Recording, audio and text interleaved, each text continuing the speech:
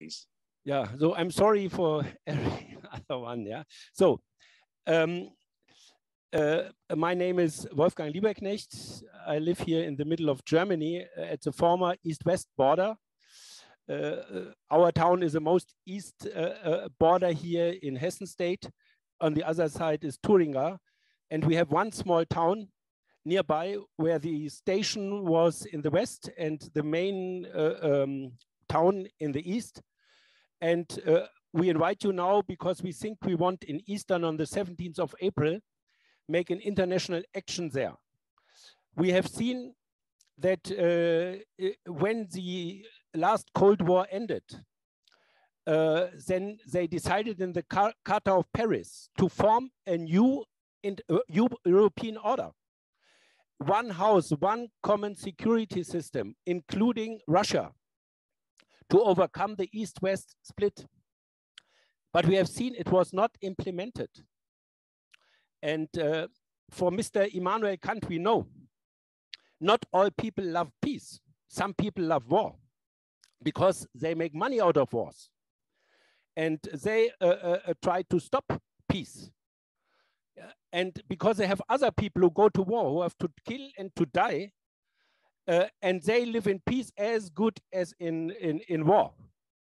So they can risk always wars because they risk the life of others. And these other people pay with their taxes the costs of armament and at the end also for the debts of war.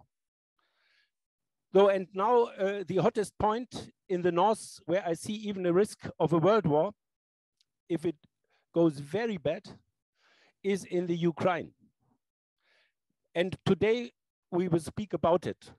What we can do to support peace in Ukraine, what we can do to prevent that it escalates to a world war, and what we can do for sustainable peace, how we can work together.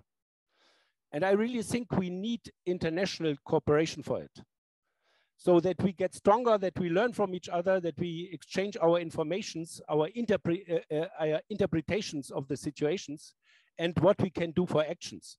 You all know one of the, of the reasons why they can bring us to war are the prejudices, which come out of history, and sometimes they are really direct promoted about each uh, other. And if persons know from different nationalities, it is a chance to overcome them. Yeah, if you tell you like me, uh, in the Gorbachev time, I went to Russia to uh, uh, say now we have to use our chance to bring people together. We made a partnership with a town near Moscow, Istra. We went there with many people, and many came to us in our families. You have seen the Russians were very nice people. All what they told us about them, yeah, you have seen, you could uh, direct see it. It was wrong. And on this base, friendship can develop. One man came said he was sitting behind atomic rockets in, in, in Russia. And now he said, I would have destroyed you all. And I see now you are so nice people. How could I have done this? And you all, uh, all know only by luck, two times we escaped an atomic war. From my point, I believe if we are lucky and this time it will not escalate to a big war, but um, the risk will be there many, many years uh, uh, uh, ahead now, which we have to live in, where we have to find solutions. You all know since uh, 40, 1945, the West was dominated from the US. They integrated it with their leadership. But since 1989, they also took the other part, which before was controlled from the Soviet Union. And uh, the big, both big parties in the United States, they really think they have the right to lead. Obama said it, we have the right to lead the world. Biden says it. And this is naturally against the UN Charter, where is written equal rights for all states.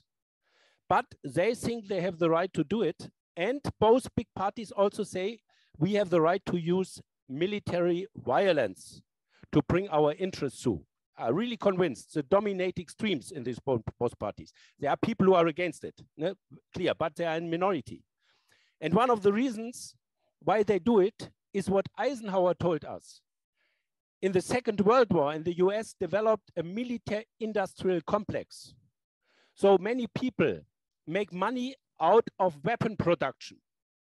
And these people are very strong in every, uh, um, uh, in every part of US. They get orders from the military complex. So if you say you are against armaments, they say, do you want that we get jobless? And then these people naturally also pay a lot to the politicians to represent them. So it will be not easy. I must really say not easy. And our peace friends in US, it's not easy for them uh, to overcome uh, this, uh, this political stream that they have the right to dominate and put their things with weapons through.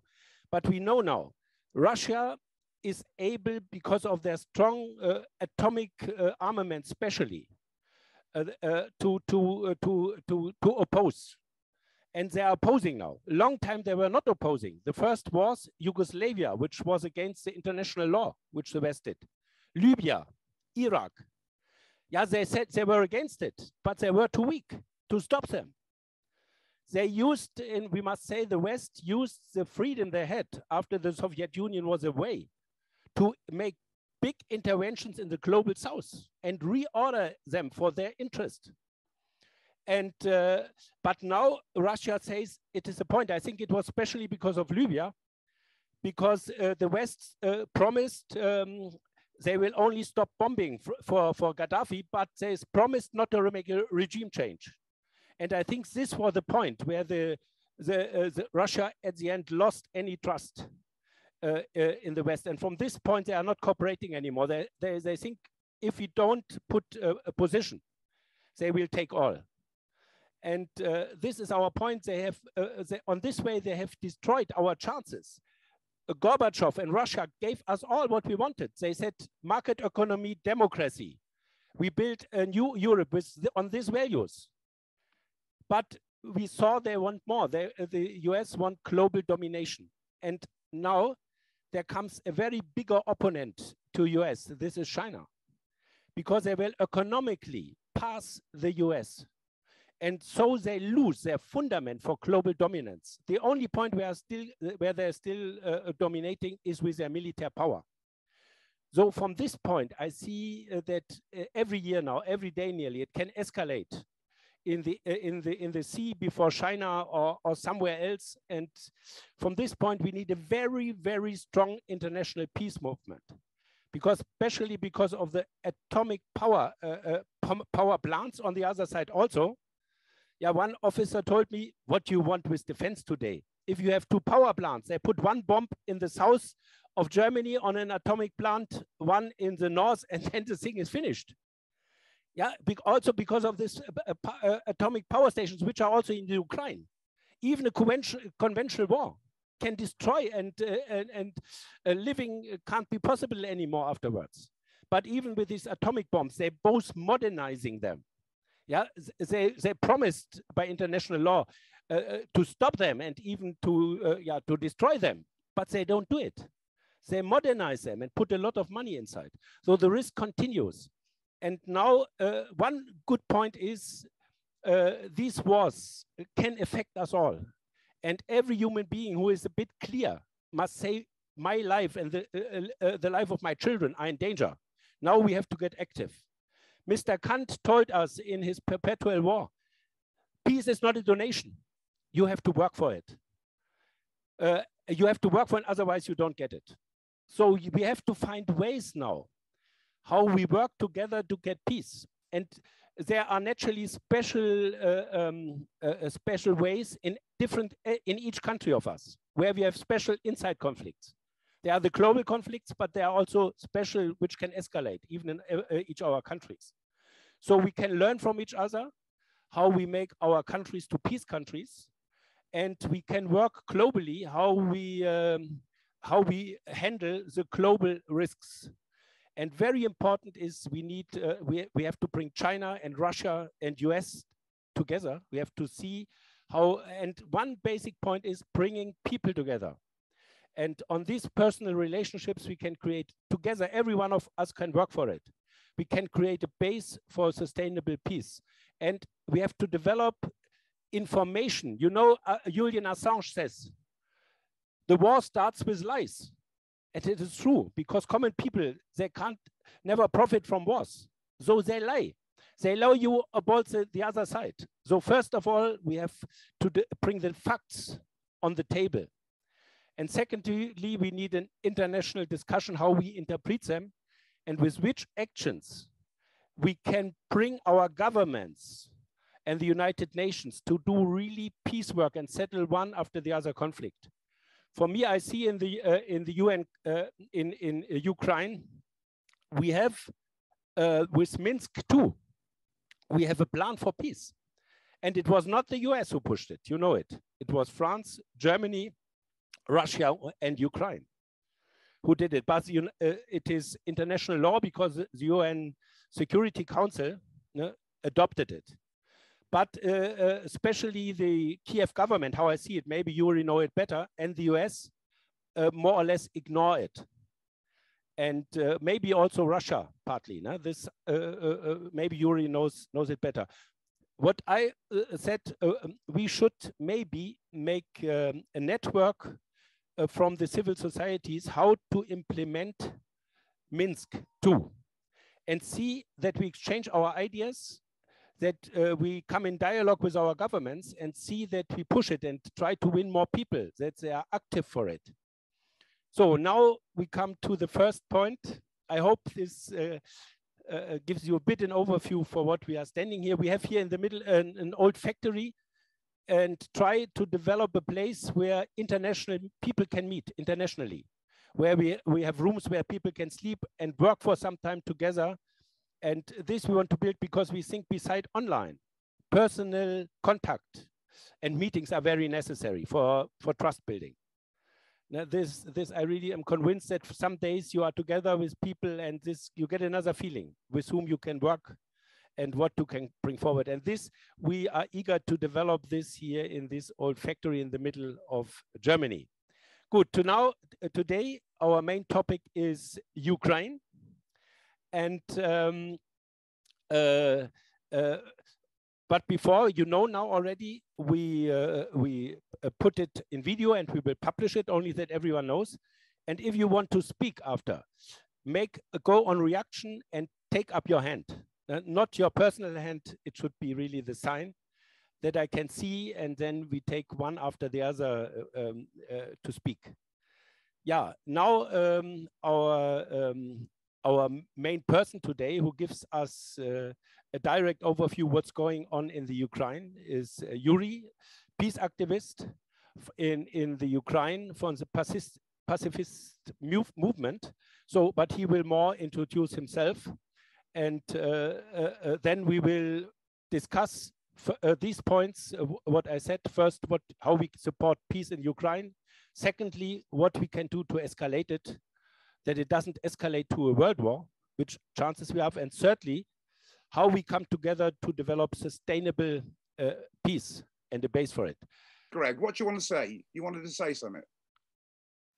Well, go, going on the, the theme of actions ra rather than uh, this good guys, bad guys. I think the most pertinent example of that in history was the 25th of December 1914, when the German and British forces stopped killing and butchering each other and joined in the middle and celebrated Christmas. Yeah. That was a far greater threat to the powers that be than all of the fighting and the butchering.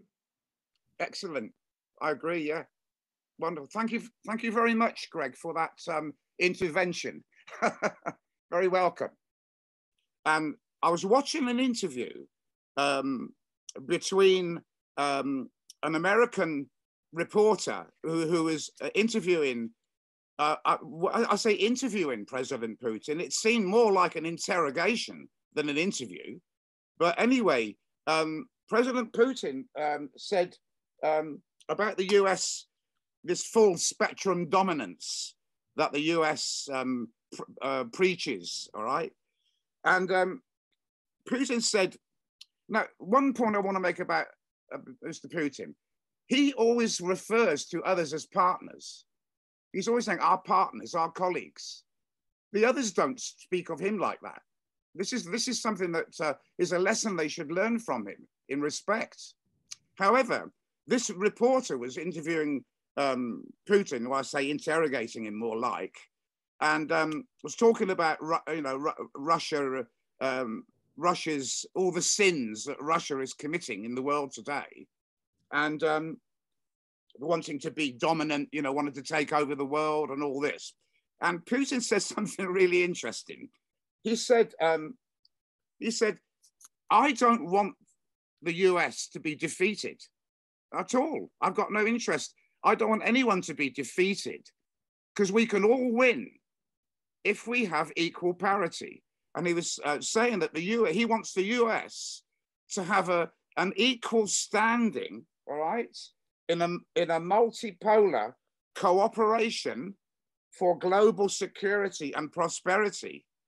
Now, Putin is working um, um, with his Eastern partners very successfully with uh, the, uh, the, the, St. Petersburg Economic Forum, the Valdai Discussion Club, or all these, where have all these people coming to these um, discussion meetings where um, he, Putin just takes his, his seat just as one of many. Uh, NATO is advising Zelensky to scrap the Budapest Memorandum. Now, this Budapest Memorandum is, is the uh, an arms control treaty, uh, not to have not to have um, nuclear weapons in Ukraine. And NATO advisors are telling Zelensky, look, let us come in, you know, shove this uh, this agreement, you know, tear it up and throw it away, like the Americans have done with all the agreements of, of non-proliferation. Um, so to that the arm itself with short-range nuclear missile. None of this is reported in the mainstream media. We don't hear about this. Meanwhile, the UK media campaign continues unabated, providing detailed plans of military strategies by Putin. So that's the first one. Now, the second thing, I won't, I won't take up too much time. Just one last, um, last thing I want to mention to you is this, and this is this is connected with what um, Wolfgang was saying. I'll just get this file up. Unfortunately, you can't see it, but um, West, Western imperial ambitions failed in Iraq, Libya, and Afghanistan, and they will fail regarding any attempt to subjugate Russia and China. NATO and the West are powerless to initiate a hot war because Russia is in alliance with both China and Iran, and the USA would invite mutually assured destruction even if its campaign of sanctions is powerless to destroy the Russian economy, because through its foster, because through Putin's fostering of trade and commerce agreements with his many partners, it can be said to have developed a fortress economy. The illegitimate sanctions the US is threatening on Russia is designed to undermine the Russian economy. However, the Eurasian Economic Union is a peaceful trading co coalition which is unified in building up economic defense in the face of continuing NATO aggression. Import substitution is a means of bypassing sanctions. Putin's focus is on developing economic growth cooperation through 30% foreign sector investment, integrating all countries within a union state 28 programs for the integration of economic development have involved discussions with the prime ministers of these countries over more than eight conferences, eight conferences in the last year. President Putin stated that joint measures are being taken to minimize the effects of these sanctions by means of the integration within a greater Eurasian economic vision with a single market for goods and labor this can ensure mutual security despite the presence of NATO, which has encircled Russia around the western border with European countries. Russia has provided schedules for military drills on its own territory, which international observers, including those from the OSCE, have been allowed to visit. Military attaches from other countries have confirmed that Russia poses no threat to anyone, as they are purely defensive measures. As Foreign Secretary Sergei Lavrov has stated, if the truth were to be known, it is the West that is preparing the ground for conflict by engaging in an information war, spreading rumors of aggressive action by Russia such as invasions, bombardments, and chemical attacks. Even so, Lavrov also expressed that an information war is better than an actual war. As when there is, even though an information war is taking place, it still leaves open the possibility for negotiations in the interests of bringing others to recognize the facts that the republics of Donetsk and Lugansk have a right to independence and autonomy. However, it is the refusal of the West to engage in any negotiation with these republics that is born of a fear that if they did so, it would legitimize the claims of these regions to the right of self determination. Lavrov explained the danger of two militaries that facing each other in such a standoff could bring about an inadvertent firing of a missile, thus starting yet another war which could have catastrophic consequences. He stated, What is needed for both sides is to get around the table and develop a common narrative that would address the problems that arise when each side is unwilling to address the concerns of the other.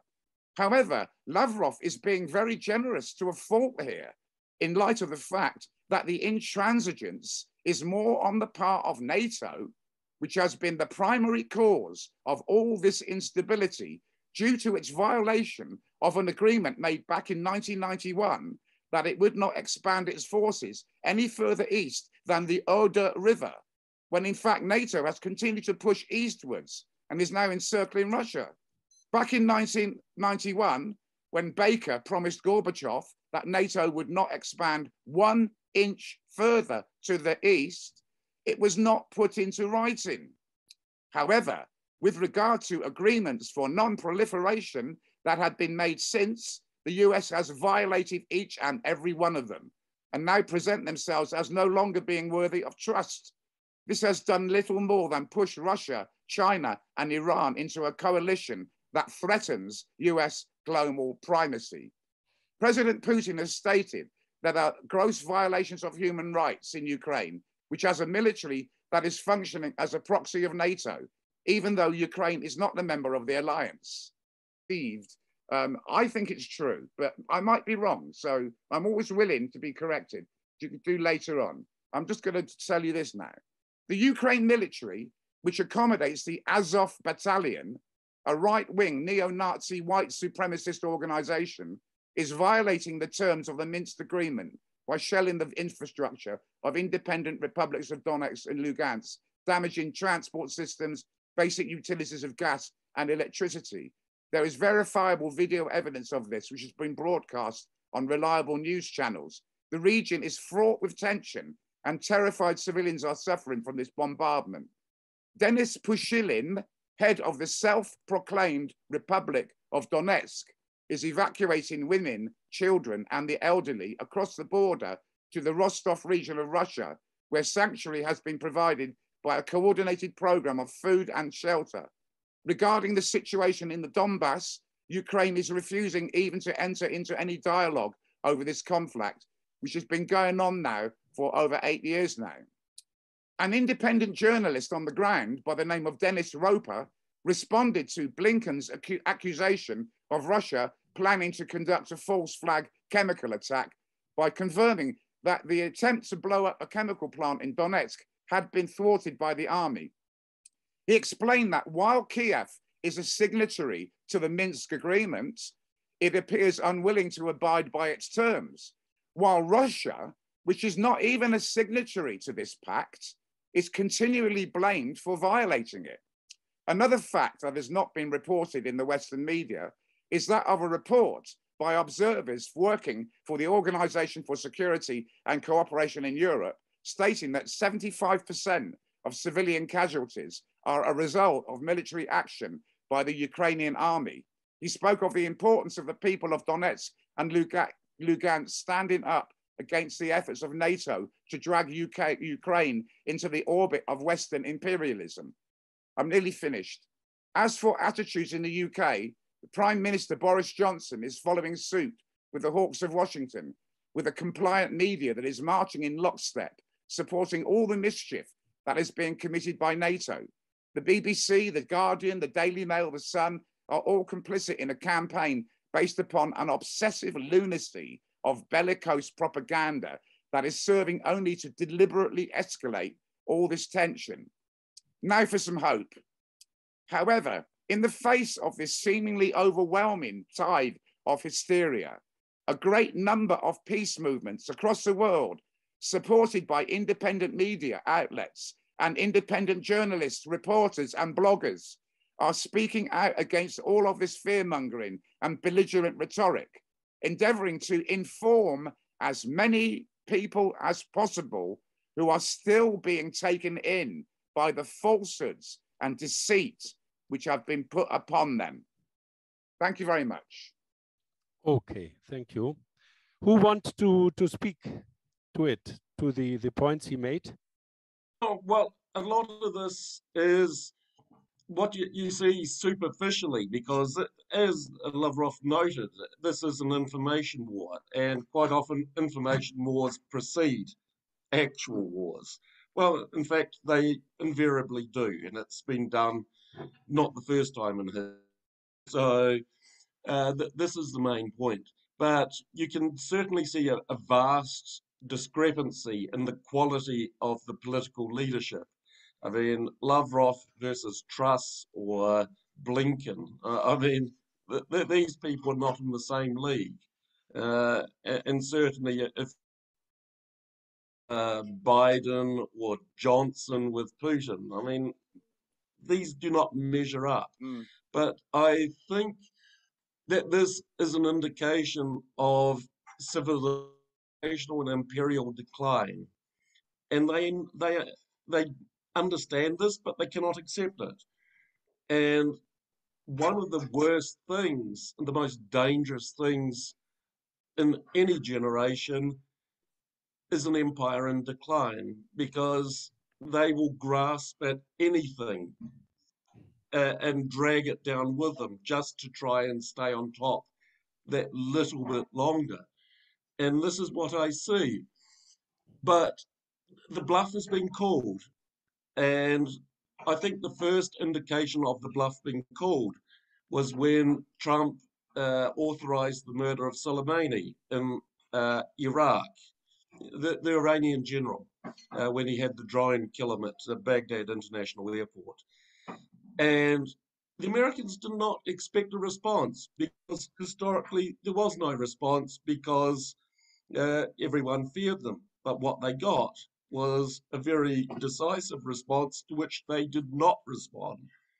And this is what I found interesting, if we want to put it like this, because if they felt as confident as they had before two decades of endless wars, which were wars of choice and not necessity, they would have attacked Iran.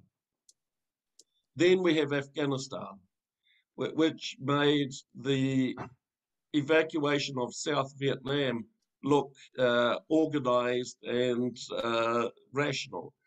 And now you, you've got Ukraine, but the issue with Ukraine it's not only about Ukraine. Uh, this this is coming to these larger geopolitical and geoeconomic questions, uh, and this concerns not only Ukraine but Russia and also Germany, because the, the, the, everything is being tied together by the US. They're trying to tie these things together. Well, uh, well, I mean, Bernie put all those things, these stupid uh, maps uh, of. Uh, I mean, my son could draw better war maps than these things. and um, anyway, I mean, you, you got the, these things.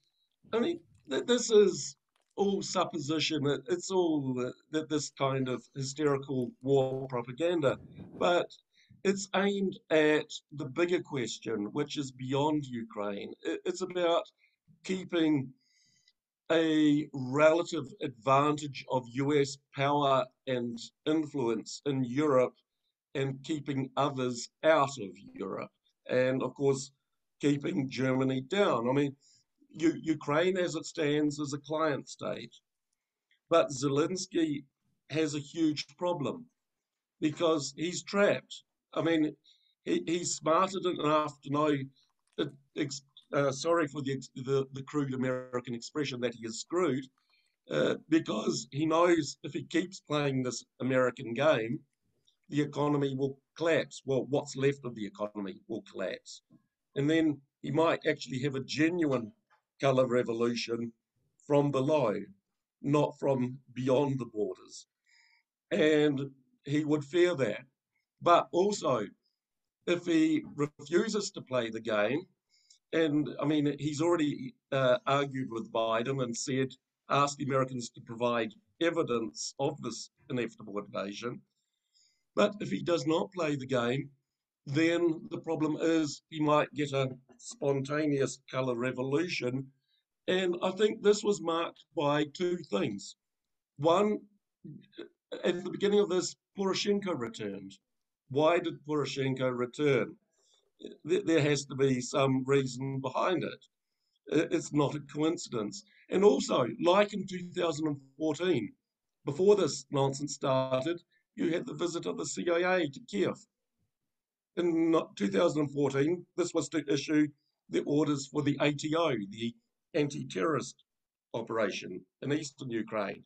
Now they have new orders, but I mean, yeah, this is to keep Germany down, Russia out, and the US in uh, Europe, and to keep that what they have enjoyed uh, for so many decades. This is what's happening in Ukraine, if which uh, which is ignored by Western media, the deployment of at least half the strength of the Ukrainian army outside Donbass, uh, which is why you have the Russian forces moving on their side of the border uh, as a signal. If you do that, there could be a rerun of 2008 in Georgia.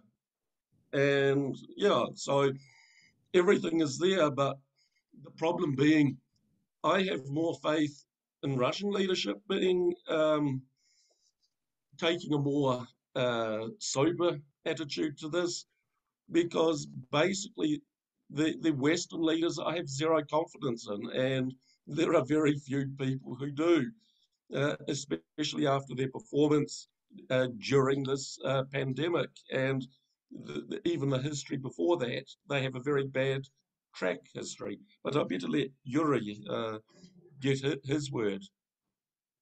Conflict. United States said uh, these Ukrainians uh, have sovereignty. They uh, should be allowed to join NATO if they wish. And we are supporting their sovereignty. Russia says uh, uh, uh, that these people, uh, uh, Russian people in Donbass are suffering from this neo-Nazi uh, in Kiev. By the way, there are neo-Nazi on both sides. Azov, Ukrainian side, Varyag battalion, Russian neo-Nazi. Right sector, Ukrainian Nazi, and Russian national unity, Russian Nazi. Yeah, so it is Nazi in uh, separatist republics of Donetsk and Lugansk and Nazi in Kiev regime, in Kiev government. Uh, and, and of course, uh, uh in uh, among different spectrum of political um, movements, there are far right, just right, center, and and so on. Uh, left, far left, and so on.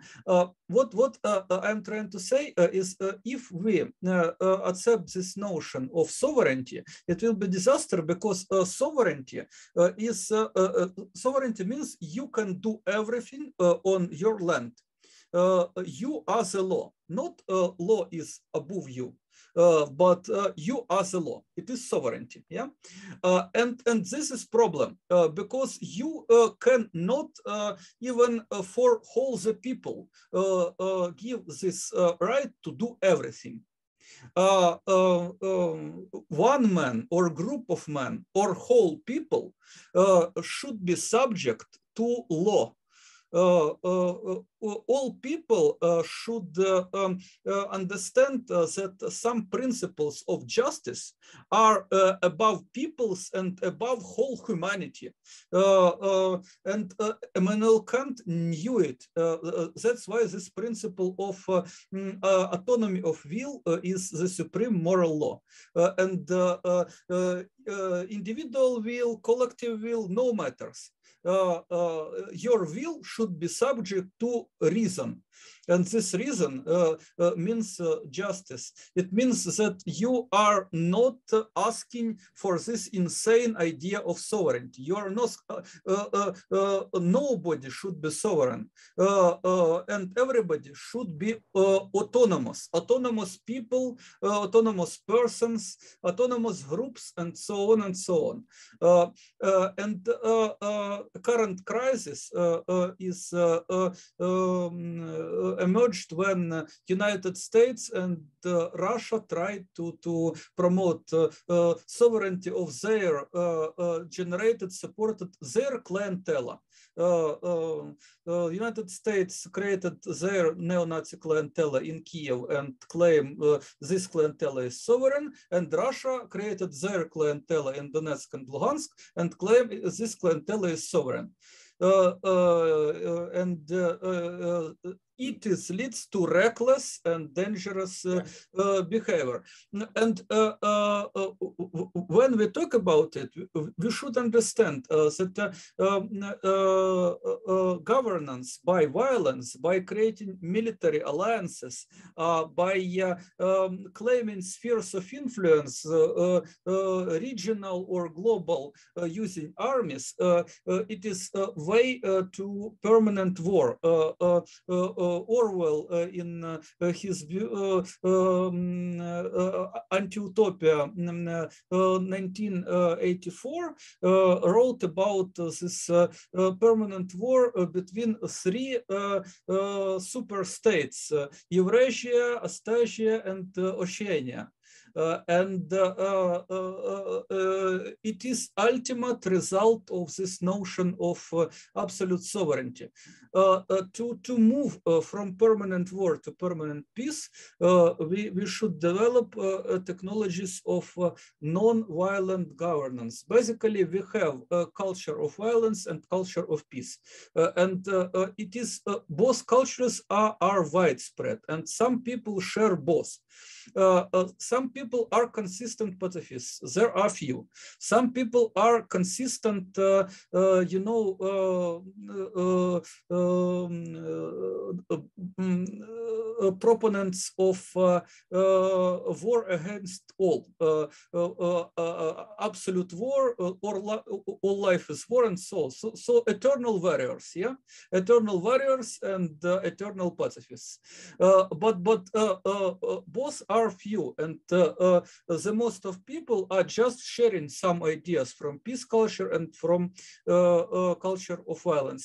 And we have in long-term run to, to develop peace education, to help people to um, use in their life technologies of non-violent um, pursuit of happiness, non-violent governance, and so on.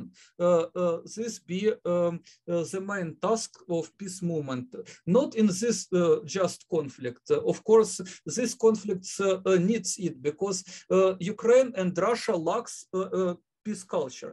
Even Germany or United States with all this war machine uh, in society, uh, uh, you have a more developed peace culture uh, than Ukraine or Russia. So Ukraine and Russia uh, uh, even don't have a mass peace movement, um, non-partisan. And to develop peace movement, we need to develop peace education. we, we need develop uh, these institutions helping people to understand that peace is real. Uh, peace is not only a dream and uh, mm, uh, uh it is delusion that you can achieve peace by violence. Uh, in fact, you can achieve peace only by technologies of non-violent life. Okay. So, Anthony.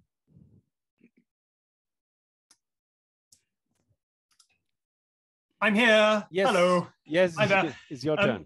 Eh, Thank you so much, Wolfgang. Um, I've got to leave shortly, so please forgive me. But Wolfgang, uh, I am immensely grateful to be with you. Uh, and Bernie, thank you so much for organizing this because an extraordinary, interesting discussion. Um, and I've agreed with absolutely everything that has been said. It's made a great deal of sense. However, I have a slight sense that I'm in a really echoing chamber again. Um, and the theme coming out of this for me uh, and I've kept hearing things like uh, people together, people on earth. Bernie's saying our behavior, how do we find the common ground? And Yuri, you've just repeated this with the same thing about people coming together. Uh, and I suppose out of this meeting, I will love to hear the proposals of how we get disparate people, whether they are, you know, city traders and people on uh, universal credits, Muslims and Christians, all of us speaking from the same hymn sheet. In other words, um, having a common ground, something upon which we agree. Uh, and uh, you've all touched upon this, this idea of the spirit of peace um, and how we're able to unite. And so this is the thing which will inspire me most of all. I look forward to to hearing this because I don't think otherwise, however brilliant the individuals all over the world and however inspired the organizations, unless they're able to come against this, as you well described it, this military industrial complex, which is now so dominant, so much in control, unless we're able to find a force of, of peace to equal it, I don't see a way forward. Yeah. Wolfgang. Yes, I uh, 100% agree. And uh, the idea of Vijay, yeah, to make to to promote peace ministries and peace centers everywhere. That out of the society, it is somehow for me a contrast structure to this military-industrial complex, uh, which we really need. We have to see both. We have to analyze uh, the ongoing interests, which are dominating, and on the other hand, we have to develop something positive to overcome it a new culture of peace. Both is necessary. Yeah, if you are just blind and said, yeah, peace culture, peace culture, but you don't see the current things and the current conflicts, you need special answers also for nearly every conflict. Yeah, this so-called war on terror, we need a special answer for it. Uh, nearly for every country of them. Yeah, they are different. But we have to work on it and we can do it only together because, we are few. We have to bring our competence together, how we reach the people also and uh, get a mass movement is very necessary. No? Now, uh, exactly, you see now how weak we are when you see these warm, war, uh, war voices. Yeah, the medias, how they have them in their in their hands. Yeah, here in Germany, nearly all newspapers uh, are uh, pointing to Russia. Nearly all. There's nearly no one anymore which is uh, preaching for peace. And even if you say something, Putin, we have to understand him even this you are more or less out already. And to balance the things, they are very, very strong. So we have to really, out of our small sources, come together because we speak for the interests of the people. This we have to see because this, even this amount, uh, uh, what's the, all this selling, uh, buying of weapons, it costs us all social and environment.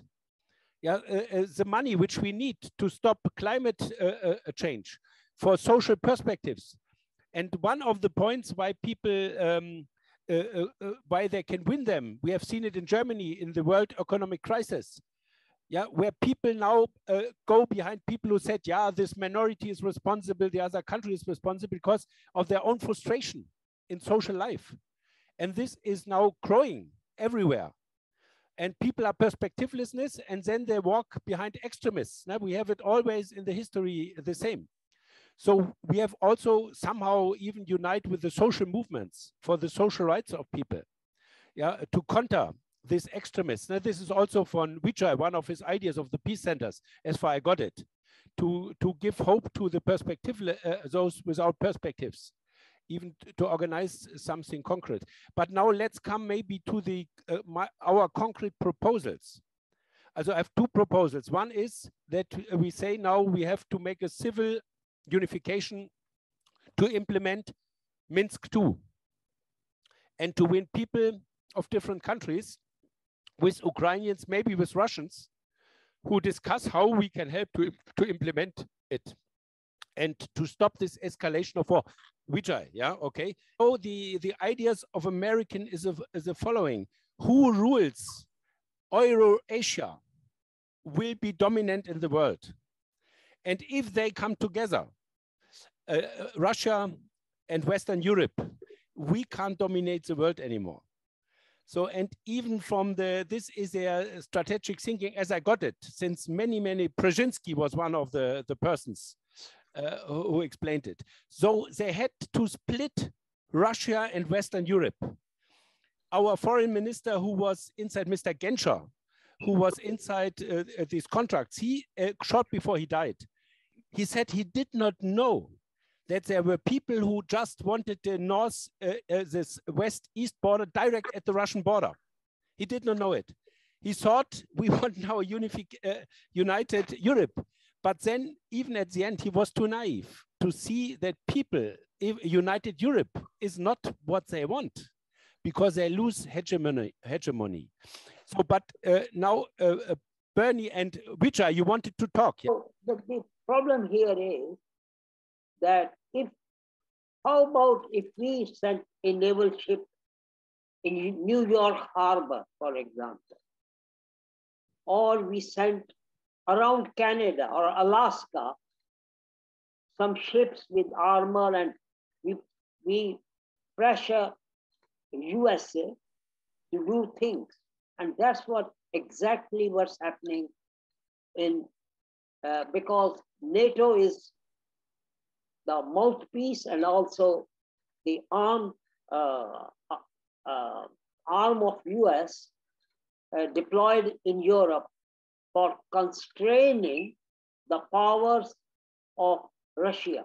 And China is embroiled or there are around, uh, John Pilger said there were around 365 bases around China so not for them not to go and indulge in a war or something.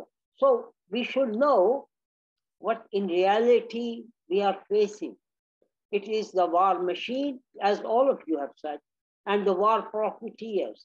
And UK here, and USA, and its allies, they're all ready to go to war.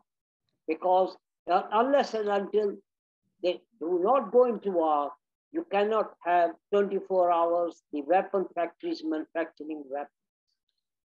So now coming to how we as peace activists, what we, we can do and what we should be doing. Of course, we are all in our own countries signing petitions for people not to go to war. But I would go a step further and we should take responsibility as peace activists to write to our legislators. So about what? That, that there are spheres of influence. So Ukraine and all those countries around Russia, Russia being a very powerful big country has spheres of influence. So what Russia is saying, don't come too near to, to for NATO to expand that part that we cannot uh, uh, tolerate it.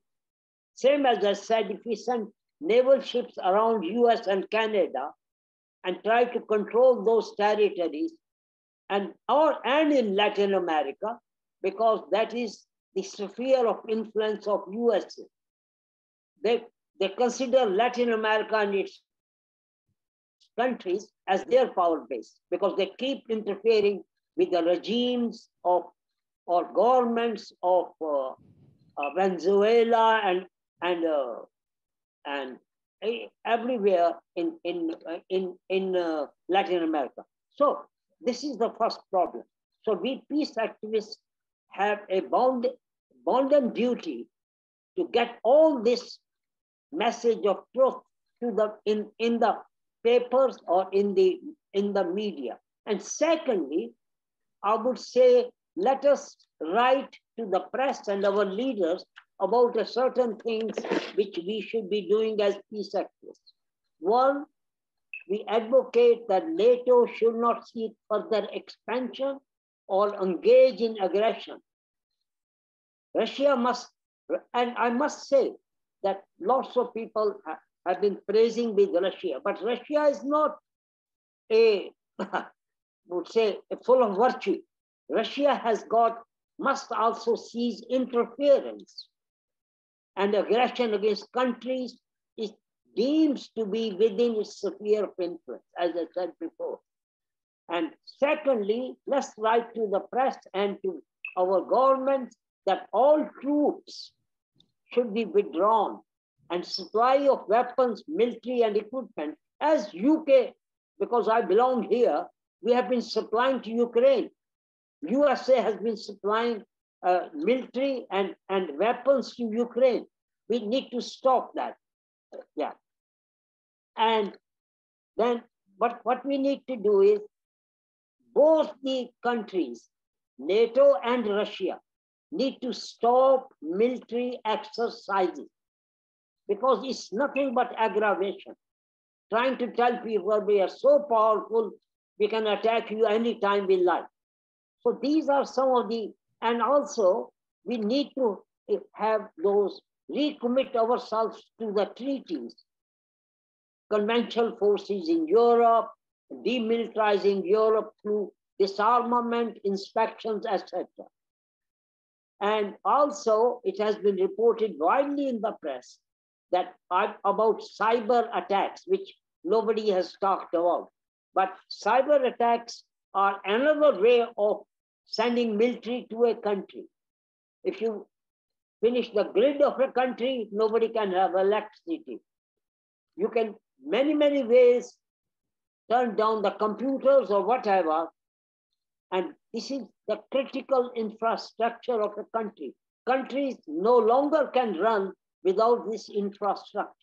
So these cyber attacks, we must, must think is a very serious matter and we need to pursue in good faith an international agreement within all the countries that we should not have cyber attacks uh, at all. And one more last thing we should talk to our governments, all which some of you have alluded already, that all these parties in the dispute, Russia, US, uh, Ukraine, and the others, they should sit down. There is, there is nothing can be gained by a, a major war or third world war.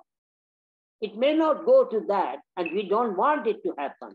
Because remember the First World War, Second World War, Thousand Year War, we have always had wars in Europe. Only after the uh, uh, formation of European Union, which I have written a full book, Peace Beyond Borders. We should, people should read that, how European Union was formed and why we have relative peace in Europe for the last 75 years.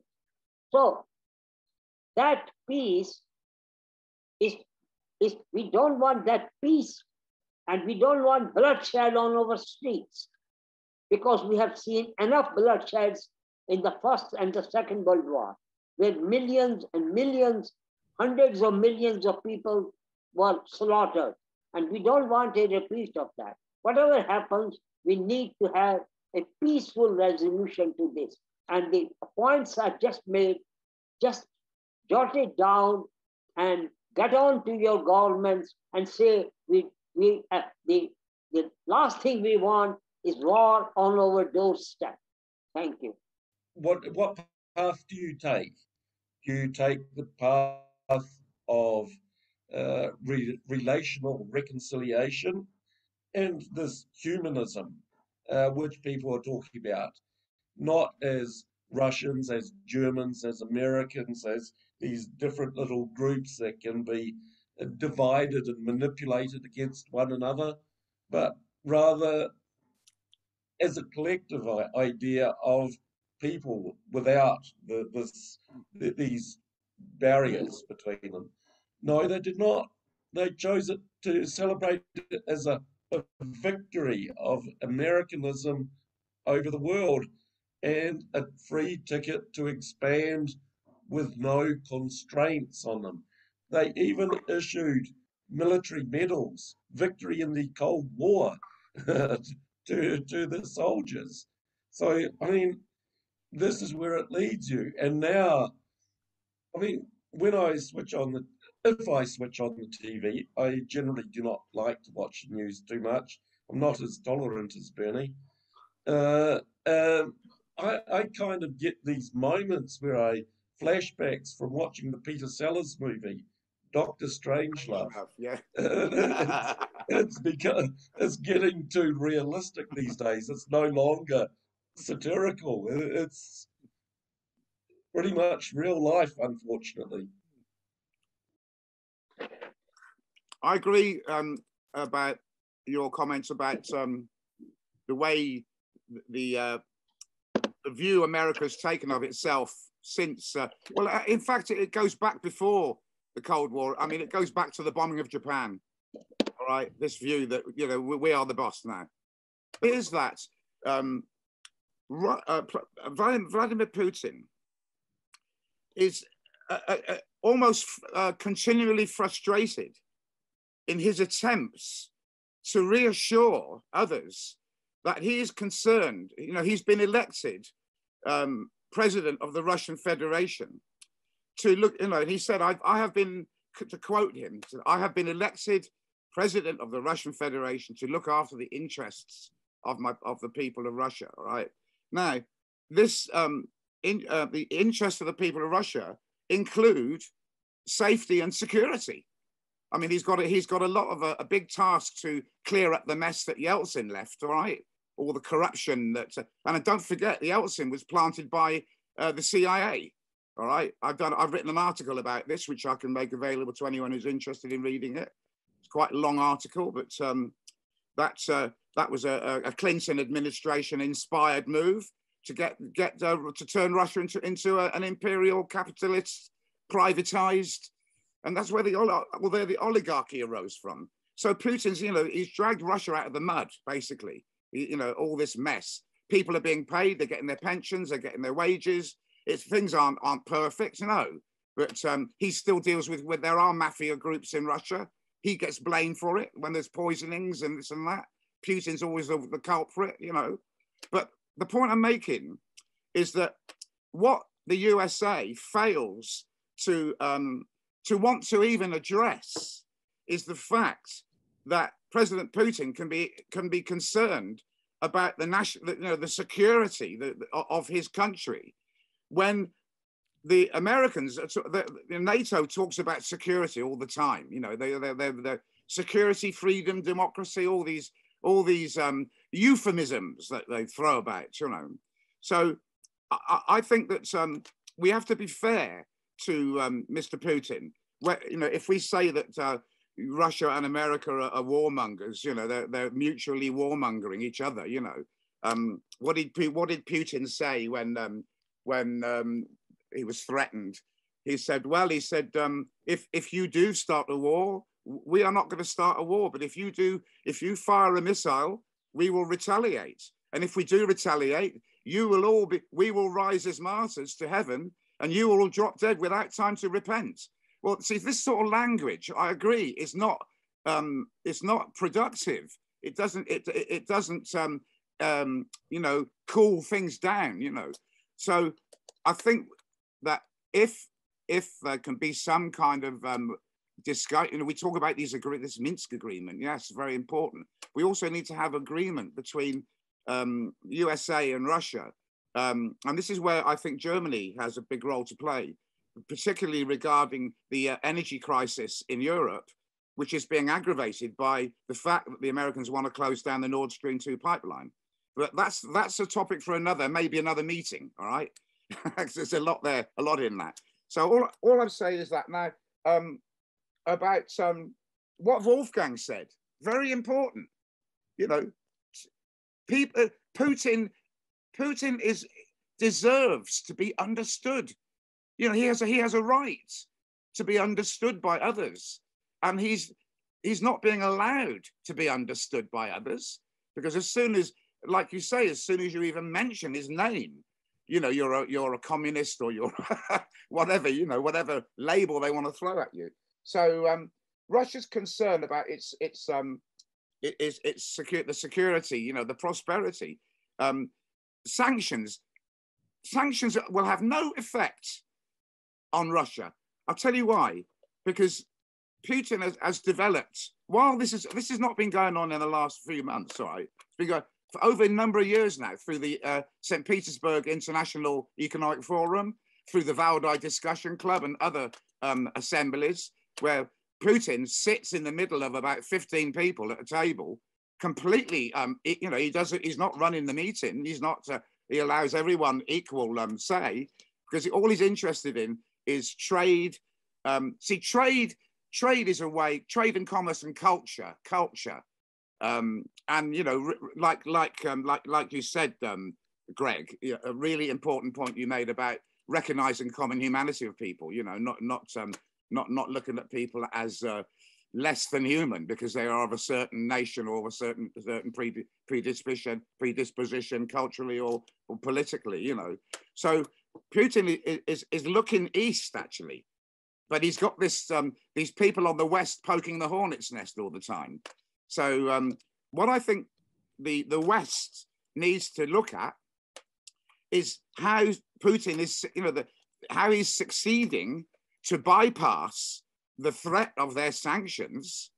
Um, I mean, obviously, if they, if they, if um, by, but oh, I'll tell you another funny thing. Biden was being interviewed in the in the White House, and this reporter said, "What about the Nord Stream? Oh, well, I'm going to close it down." All right, and she said, "Well, how are you going to close it down?" And he sort of went, um, uh, "Well, I promise you, I'll do it."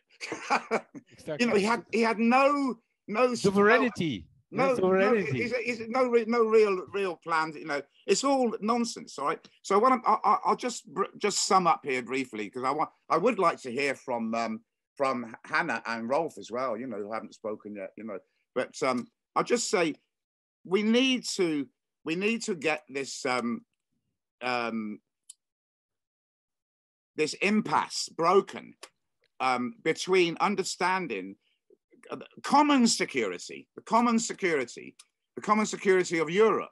And, you know, in fact, when when Putin was asked would he join NATO, he said, well, why not? He, he said, wanted. He said, he wanted. You know, he said, why not? Why not? Why not?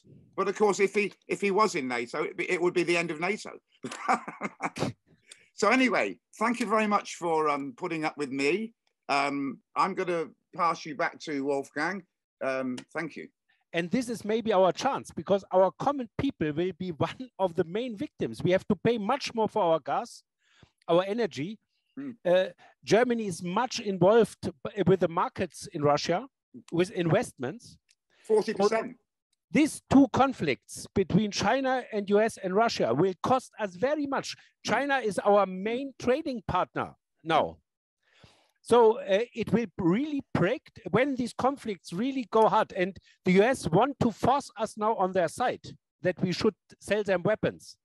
They want to really uh, uh, uh, divide our relationships to Russia and China. And this will bring Germany very much down. So therefore, I also think that uh, France and Germany are not in agreement uh, with what's going on. They try with this mm. Normandy, with this Minsk Abkommen already. They tried somehow to oppose what they could, but at the end they are cowards mm. because the Americans have so many things they can uh, destroy you. Now, I, I heard one German politician, he said, when the Americans come to negotiate with you, they come to, hello, my boy, my friend, how are you? And then they come with serious topics. And then you said, I don't want. Mm. And at the end, he gets more and more hush. And at the end, he put a file on the top and said, Do you know that what I've heard from you, the public should know it? Yeah, this is uh, at the end, they really blackmail you. I uh, uh, uh put a link in uh, in the chat about um, movement in Germany. It's uh, called Sicherheitsneudenken, rethinking security that um, came from uh, a, a, a, Protestant church in uh, uh, yeah, Baden. And uh, it's, it's gaining a bit more um, power, but uh, still not, not enough. It's a vision. Um, Germany uh, to, to make uh, uh, military superfluous until that's just a, a date uh, 2040. And I recommend to you to, to read the, the, the uh, abbreviated uh, version that is translated into some languages like uh, uh, English, Polish, and, so on. Um, yeah, and then I, uh, um, what you mentioned, uh, yeah, uh, presently in Germany, it's very dangerous uh, that the parliament decides on killer drones. Um, and uh, there is a, a, a group, um, Bernie, I think Bernie uh, um, mentioned uh, Medea Benjamin, so you will know uh, in Germany Elsa Rassbach. And, uh, and she, uh, she, together with uh, some other people, presently uh, is trying to reach uh, from SPD, from uh, the Green Party, uh, uh, to, to strengthen those, uh, those members who are against uh, buying uh, these killer drones. Uh, but they have it in their coalition treaty that they will, uh, in uh, uh, this legislature, they, they will buy these kill, killer drones, and we have to stand against that. You know, why aren't we hearing? Why why are we not hearing from United Nations more on this on this matter? yeah, which clear have to say that according to Minsk, this inside Ukraine conflict should be solved peacefully. Mm. This is the main point. If this is solved peacefully, there will, Russia will do nothing, I'm sure. They only know they don't, they want a violent uh, uh, solution of these topics. And uh, this will cost a lot of lives, mm. even on, on Ukrainian side, yeah, on both sides of this uh, uh, and and naturally we normally we need a, a, a resolution yeah? Uh, that they say minsk has now they should take their troops this is in minsk away from the front line. Yeah then well the there is wolfgang there is a united nations resolution 2202 is in is is central to the minsk agreement okay 2202 right? okay yeah check it out all right mm, yeah yeah check that out you'll you'll see now, this is this is being overlooked. This is the problem. Yeah, this is overlooked. Uh, uh they even put ignore, even publicly, Minsk yeah. will be not spoken anymore about. It seems there's only a violent solution. No. Yeah, yeah, yeah. But I... this is true. And you know they have uh, uncalled troops from the from the government of Ukraine beside. There are special forces from what I've heard from Great Britain and America inside, and Nazi troops. So they can do a lot, even if the Ukraine government doesn't want. They can uh, inflame it. Well, I mean, you see this Azov training yes. grannies and so Azov, forth yeah. to, to mm. fight back. Mm. And of course, you, you, know, the ideological pedigree of Azov, of course, mm. which, which has uh, this Dirlewanger uh, yeah. brigade uh, yeah, insignia and, and uh, of course, this this is one of the few SS units to actually be condemned by Himmler for war crimes and to be punished. And, and they're openly wearing these Mm. kinds of insignia. And of course, the West ignores that. Oh, you Ignores. Ukrainian patriots.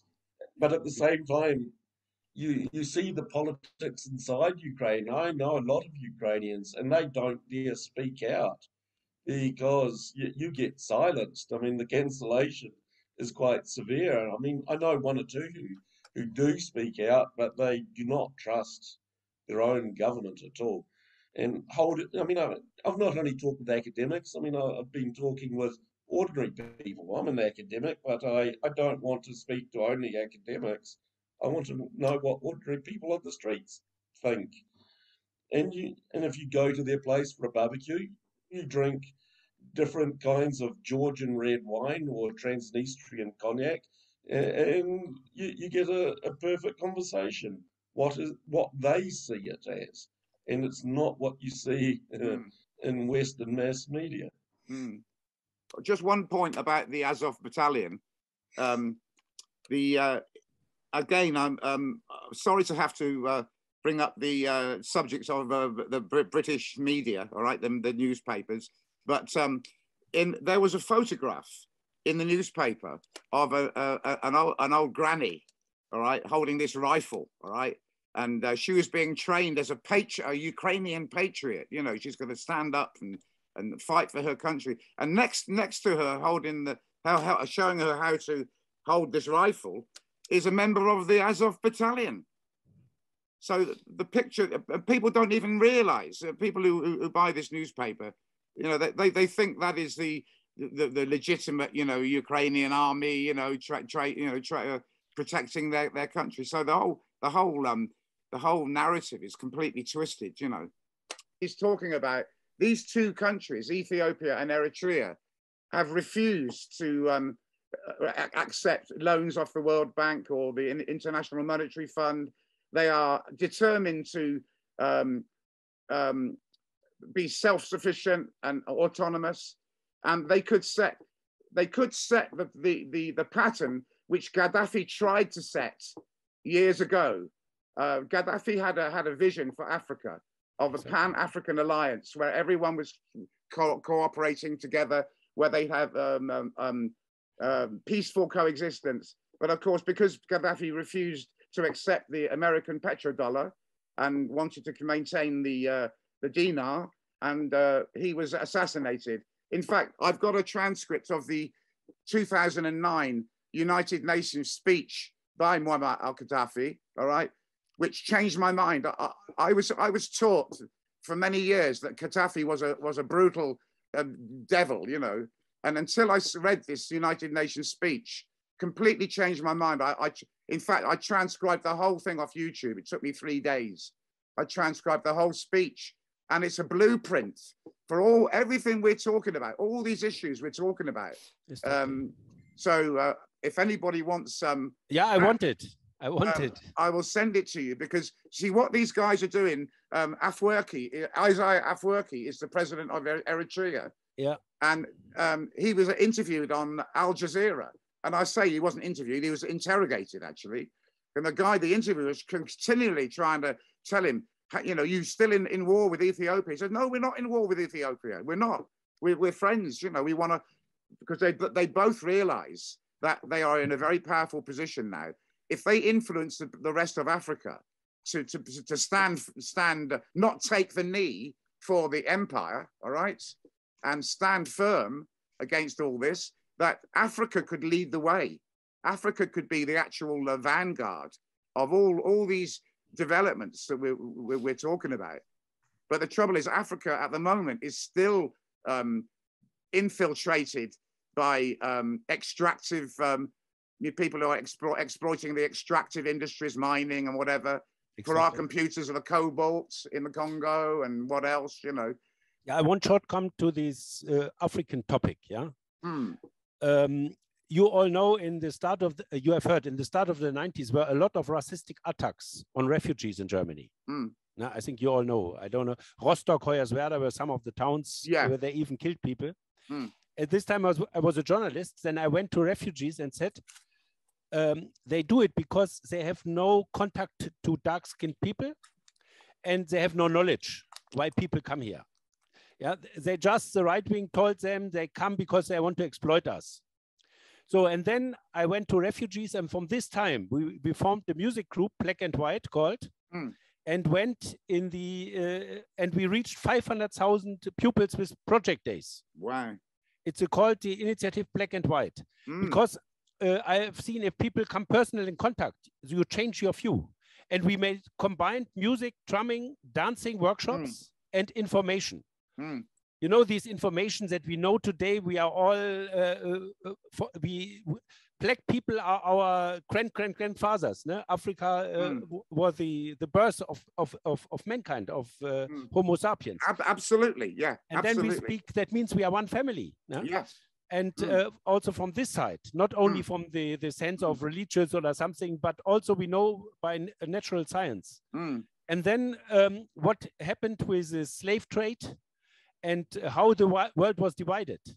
Mm. Yeah, that those who were uh, more in progress in state building and economy, they used it to conquer the rest and exploit them. So, Mm. and our uh, our development is on the shoulders of Africans, of Yeah. the Mm. it's clear, né? all this. So, and what we uh, we did then, uh, uh, they formed a, a partner association in Ghana. So, and we were in, I was in Ghana to a workshop three years ago. We made about the reasons why people flee and what they can do to overcome the reasons in their Mhm. countries. Yeah, this is um, so. The, and we with teachers, and from this time we are in contact, and we have also some contacts um, in, in to Cameroon and to Mali. And uh, now there is a big change in West Africa also. Yeah, these military rulers. Yeah, it's not uh, uh, it's not clear that this is negative. Yeah. Uh, So uh, what in Mali these people say we have to make a new foundation of the country, and they made meetings in the whole country. It's the first time common people were allowed to speak how they want Mali to Mm. be, and from this way they sanctioned this country. When in Chad they made the military coup, the France said nothing. Yeah, they said yes yeah, because these are Mm. their guys. But in Mali is now uh, could be now uh, a change, and Mm. in Burkina Faso maybe also. So this is very important. You know, their their their war against terror only uh, develops more terrorism Mm. because you kill so many innocent people who have nothing to do with them. And then uh, these um, radical people tell you, look, I've told you what the West is. They kill Mm. your people, your, uh, your Mm. parents. So this was absolutely negative what they're Mm. doing. And the really reasons why people do it, perspectivelessness. Yeah, the climate change, which destroys a lot of uh, uh, this, we all have to address. And uh, uh, now there was a conference uh, over the last three days between Europe and African Union uh, because uh, China made this road and, and belt initiative. And now Europe want to counter it in Africa with an own program. So they challenge China now in Africa. And uh, but uh, uh, what I till now I'm not was not totally inside. But what the really reasons poverty and perspectivelessness was not on the table because they know this would cost them that they have to pay more for the resources and their free market policy Mm. Which destroys any chance of develop an own industry has to be on the table Mm. but they don't want it and then uh, this germany biotech biontech Mm. Pfizer, you know Mm. uh, in south africa they developed an own inje- injection an own Vaccine. vaccine. And uh, this firm tried to boycott it, Mm. to intervene in South Africa that they don't allow it. So Mm. also Germany uh, uh, rejected to give free the patent. Mm. There's also so Mm. there was this this conflict about it, but it's very interesting. You are 100% right. What's going on there? Well, tomorrow, It- hold on. How Yeah, many of you have heard of the Cost of War project, which is running at Brown? Very good. University? Very Yeah. good. Brown University, the Brown. Institute in the Watson. Yes. no? No, no, the Watson Institute at Watson Brown Institute. University. Yeah. I mean, that's a fantastic resource. Very good. It's a private university, no? It's, it's, they have all. It's, it's horribly, no? Yes. uh, how many refugees they have created. uh, the, the, the taxpayers, yeah, how much it will cost them for years for all these handicapped Yes. soldiers coming back. I mean, they're the only ones who actually do a systematic analysis of the cost of war, the actual cost of war. Uh, wh- where, where also something is going on is in Mozambique, in north of Mozambique. No? Huh. Uh, there is is is is a Okay. most uh, most huge gas field in whole Africa. It's the biggest project, economic project in whole Africa. And Hmm. uh, Total and Exxon, I think they are inside, and I think, uh, and they have pushed the people away. Yeah, and uh, Yeah. the fishermen, you know it, and uh, and then um, these people uh, uh, protested. It's really a, a war going on there. It's now. They don't report about it. Hmm. No? There, there is a, um, and then they interviewed, um, and then there came some Islamists inside. Yeah, if one puts the Quran up, it's clear the Im- Islamistic movement. No? they interviewed one human rights activist. It was in the Guardian, and they asked them, "Yeah, the Islamists do it." They said, "No, maybe they are responsible for twenty percent, but eighty percent. Why the people are protesting? Yeah, is they they destroy uh, uh, their background, and there are Americans inside. For Europe, is are the Portuguese inside, and they paid private." Uh, uh, war groups yeah uh, uh, who are also inside and the people are very much suffering they cover they don't speak about it is it, but we should also keep an eye i just want to tell you no, because i saw it beside so we need so many people no, maybe who one care for this one for the other conflict no, that we can hum, somehow be current there there are so many, well, I mean, the, yeah. Well, the, the Nigerian Delta, too, is another example of such. Uh, yeah, well, I mean, I don't know what you could even describe that as being. Uh, Keep talking. Right. Okay. There you go. Wow. Perfect. Yeah, Good. yes. oh Right. This is um. Um. There's 34 slides. I'm going to show you one. All right. because we haven't got time for all this. But this is a speech to United Nations, 23rd of September. Now, issues, this, this is what Gaddafi brought forward. Issues, what he did, he embarrassed the whole assembly. They were squirming in their seats, all right? These powerful members of the Security Council who veto the, the uh, desires of the General Assembly at every corner. And, these, and, and Gaddafi read uh, in a really very powerful presentation, brought forward the issues of the function of the United Nations. He said it, he said it needs to be disbanded completely and built up from the ground. He talks about the function of the General Assembly and Security Council, how the General Assembly is trampled over by this Security Council. Now remember, when the when the United Nations was formed in 1945, there were there, it was only the Security Council that were the members of it, and they wrote all the rules. This is the problem. Then the also the International Court of Justice. He said it's a complete joke. All right. The International Atomic Energy Agency, the importance of the African Union, which we're talking about. He was talking about this in 2009. You know, it's what uh, 14 years ago, whatever. Compensation for colonized countries, a solution to the problem of immigration, the prosecution of warmongers, and a rejection of the two-state solution in respect of Israel and Palestine. He Gaddafi suggested that the Semitic brothers of the Arabs and Jews, all right, they're brothers. They're one nation, they're one, one heritage. He said they, they, they should live in one state called Israeltine, one state called, called Israeltine with no borders.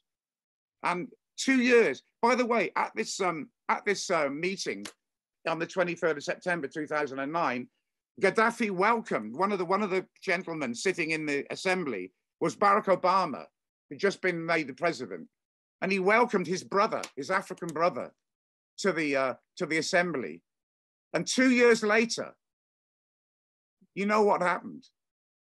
You know, two years later, he he he, he betrayed him. His brother thanked him. Yeah. Yeah, yeah, yeah. So the thing is, I've got the whole. It, it goes on, you know. Um, uh, basically, the whole of the, all of all of the um, this is his speech, completely uh, exactly what he said, you know. And I can send this to you, but at least I can get this working now. This yeah, yeah, yeah. share Here, the screen. This so was the point. Here, uh, you know, uh, you know, all UNDP. They make uh, the living conditions. They compare. Yeah, you know it. Yeah, yeah, uh, I tell you, look up Libya till 2010. Every day, a year it growed. yeah, They had more, I think, even more than Russia and Bulgaria. They were above them. The only country in Africa yeah, has really reached another level. They had uh, the the the the, uh, the dying at birth that was a European Yeah. level, and uh, this is very important. And after this, you see how it broke down. From Yeah. 2011, it go it went down. They had the rank, I think, 53 and now 105 in the world. So you see Right. th- their humanitarian inventions, interventions where it lead to. Now it's very good. uh, you can uh, document it everywhere that, where they make interventions and what it means for the people. yeah, Uh, okay, the, uh, uh, they have really destroyed the state, and the African leaders warned him, the West. They said, if you destroy, uh, bring Gaddafi down, you destabilize whole West Africa. And it went like this. It went from there Mm. to Mali. You know, it. Some say it was uh, not intentional stupidity. No, it is a- another point. Uh, I don't know if you know um, what is this? Alain Badiou is a very important French philosopher. They're very influential. He said the following point. He said they can't direct colonize anymore, mm, but they can destroy the states, what they have achieved after independence, in escalating the conflicts and especially in the areas where they have resources. And then they cooperate with militias. They give them the weapons and they get the resources. And uh, you are very, uh, your life is destroyed if you live in such an area as a hell, he said. But he said it's a capitalistic death drive to death. Yeah, it's, uh, I got it here in one interview. Uh, uh, uh, this is exactly what they are doing everywhere where they made interventions, at the end, you have a destroyed state. What they have achieved after independence is backwards, and militias are controlling and give them the resources. Though we really have to stop it. There Mm. is there is from um, uh, uh, there is a libertarian institute from Ron Paul. You know Ron Paul. He was a presidential candidate from the Republicans, no? and uh, Scott Horton. Scott Horton is the leader of the institute and he made a book enough if, if, uh, is enough stop the war on terror. And he made a lot of good videos. How this whole uh, uh, stop if you go scott horton. Very interesting. So this we have beside ukraine we have to make a campaign stop the war on terror. And we need for every country peaceful solutions yeah this might be everywhere in another country but it's very important. They make now really these people to to that they hate us you know because Mm. many of them thi- think we are all in the west we are behind all this rubbish. Also this uh, should be then another topic we should really also handle it now this was uh, in the south to they just want to recolonize the resources. And this all others is is, is a joke what they tell us So that's we, we have to, so we have some Mm. some tasks. You know they have a story to justify every of their criminal things they are doing no? and we have need always a counter story. We have to a counter narrative which we have to develop together. Now which that people understand what is the, the surrounding the background of, of all this. Um, in in ghana i can bring another topic. In ghana um, there's always the same. The opposition party says the, the, the, ruling party is bad, bad, bad. Then they come to power and do this, continue with the same rubbish. Yeah? And um, now there has formed a, um, a, a, a above party um, organization in the country um, supported by journalists called Fix the Country. Did you hear it? For me, it is a very good slogan. They tried that they can't demonstrate, but they did it in Accra fix Mm. the country. And I think this is, is the, the right slogan. Yeah, not only negative. We want housing, we want jobs. Yeah, all what is in the Universal Declaration, what you need for your life. And they said, me, uh, for me, it uh, uh, doesn't matter of which party you are. I want that we fix the country, that we can live here. And um, we had the idea to, to form uh, um, also a network, fix our countries, fix our world. Because we have special tasks in each of our countries. Uh, and then we have some global issues. So, and this uh, is in this movement, what I've heard that the civil society already got stronger towards the politicians in Ghana. Mm. So, and we have a partner association, Black and White in Ghana. They, they also for, uh, made in one of the towns in Sunyani, Fix Sunyani on local level, brings things in order. This we ask from you, you are politicians, yeah? and maybe in this movement, other better people with more competence come up. For So me. uh, it was very fantastic to know Yeah. you both. yeah, Now, yeah, then we were in email contact. yeah. Now I think we can Good bring things you, Greg. Forward. Likewise, Bernie. And Rolf, thank you very uh, much, Rolf. Wolfgang and Rolf. I'll see you tomorrow night. Okay. We see us tomorrow night. I'll leave it open. yeah? Thank you.